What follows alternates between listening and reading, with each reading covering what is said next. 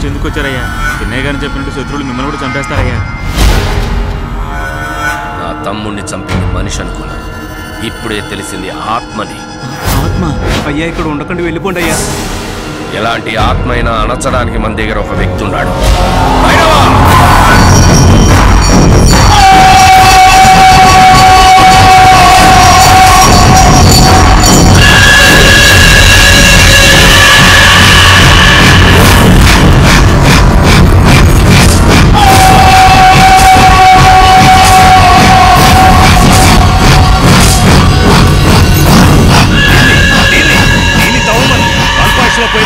చాలా వేగంగా ఉంటారు. ధరణి నేను చెప్పిన జాగ్రత్తగా నీ కొడుకు చచ్చిపోయి ఆత్మగా తిరుగుతున్నాడే వాడి ఆత్మ ఎందులో ఆవహించేలా చేస్తాను ఆ తర్వాత పలకాయ ప్రవేశం చేసి నా ఆత్మ అందులో ప్రవేశపెడతాను నా ఆత్మ శరీరంలోకి వెళ్ళగానే నేను పడిపోతాను. శవం లేచి నిలబడుతుంది. దాని చెవి దగ్గరకు వెళ్ళి శివ పేరు గంగ పేరు చెప్పు. జరగాల్సింది అది చూసుకుంటుంది. ఎంతటి వాడైనా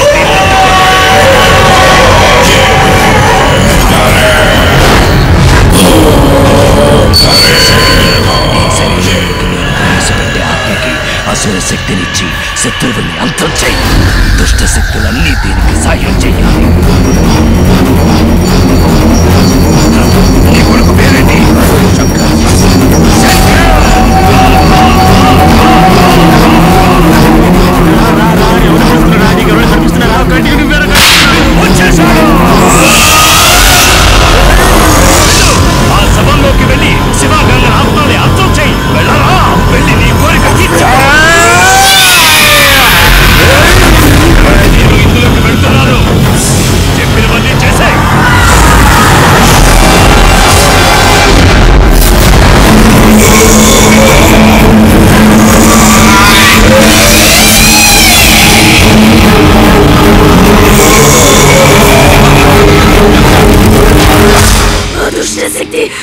అంతం చేయడానికి వస్తుంది. ఫాదర్ మమ్మల్ని వదిలేండి ఫాదర్. మేము ఏ తప్పు చేయలేదు ఫాదర్. వాడు పాప వాడాడు పాప.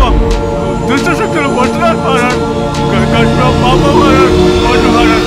వాళ్ళ కట్లు తెగిపోవాలి ఫాదర్ ఫాదర్ మా పిల్లల్ని ఆత్మల నుంచి కాపాడమంటే మీరు సపోర్ట్ చేస్తున్నారండి మా పిల్లల ప్రాణాల కోసం మేము పోరాడుతుంటే నువ్వు మాటలేని నోటితో అవ్వి. అదిగో అటు చూసారా? క్షమాభిక్ష పెట్టమని అడిగే చోటు.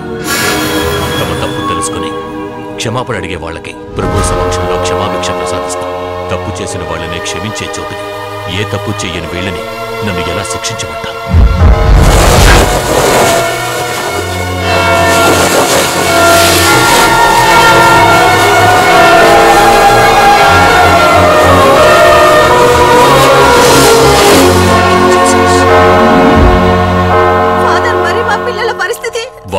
ఎటువంటి ఆపద రాదు. ఫాదర్ మీరు చెప్పినట్టు రేపటి వరకు మేము ఓర్చుకుంటాం. కానీ తన ఆడపిల్ల తనని మాత్రం కాపాడండి ఫాదర్.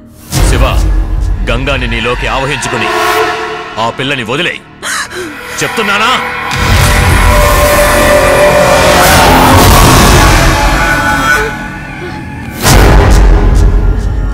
వెళ్ళండి. మీ పిల్లని తీసుకుని ఇక్కడి నుంచి వెళ్ళిపోండి. ఆ దుష్ట శక్తిని అంత చేసి మా పిల్లాన్ని మాకు ఇచ్చేయి. నీకు పుణ్యం ఉంటుంది బాబు. నీకు దేవుళ్ళందరూ తోడుగా ఉంటారు. ఆ దుష్టశక్తి గురించి ఆలోచించకుండా నీకు ఏ దేవుడైతే ఇష్టమో ఆ దేవుడికో పూజ చేసి వెళ్ళు.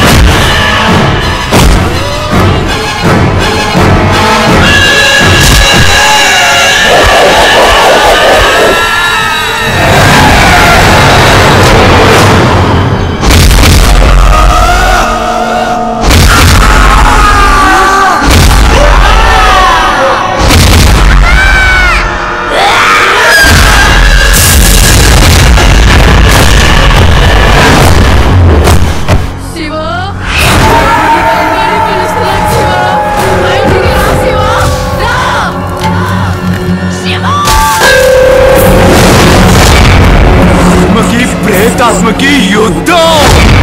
అది ఈ ఊరే చూడడానికి సిద్ధం. శివ మొండి శివ తెలియదనికో.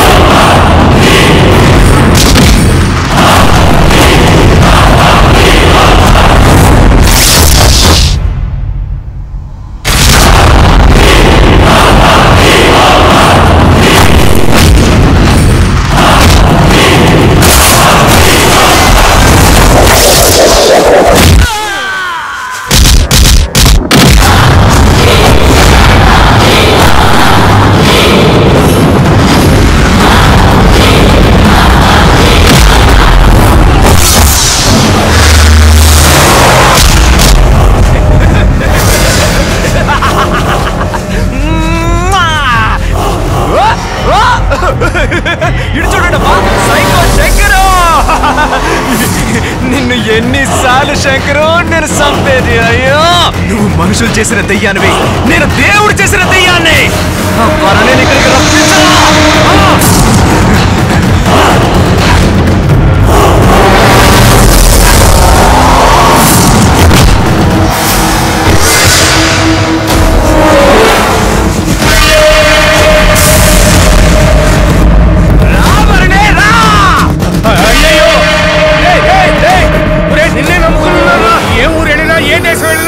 మరీ చంపుతాడ్రా.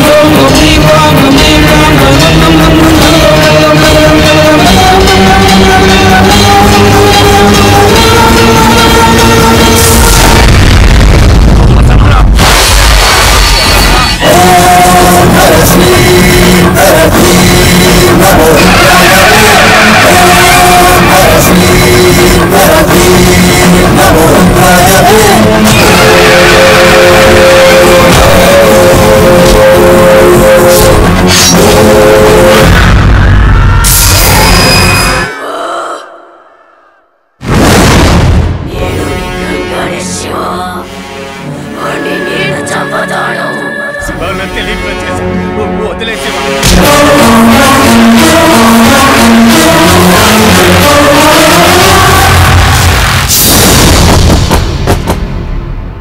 గంగా పో